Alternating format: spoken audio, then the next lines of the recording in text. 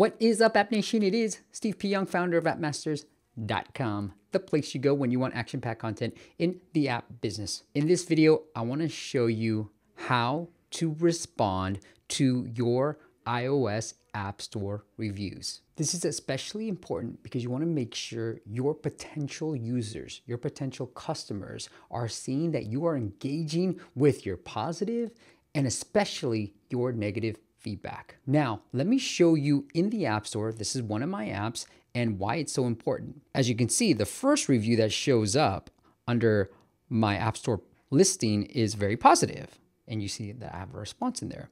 But as I swipe, it gets to be a little negative. And here is where you want to actually respond. Now, people are complaining that I asked for reviews too much, so definitely don't ask on the first open, but now I've changed that and here too. So you want to just make sure that you're responding to some of these bad and negative reviews because it's important for your users to see that this developer is fully engaged and then also tell your side of the story. So let's go into the platform and show you how it's done. All right, I'm signed in to my App Store Connect right now. You're gonna go to My Apps, then you're gonna go to the app that you wanna respond to. You wanna go to the Activities tab, and then your iOS app. And then here is where you do it. So here's your most recent. You can filter by most recent, most helpful, most favorable, most critical.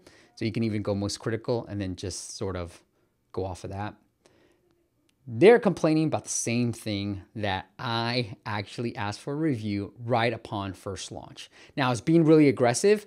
I think it's probably was a mistake. I'd probably do it on second launch, which is what we've changed to. But on first launch, we tried it. We did get a ton of ratings, but at the same time, we got some one-star reviews, as you can see. They're all complaining about the same thing. So I'm gonna respond.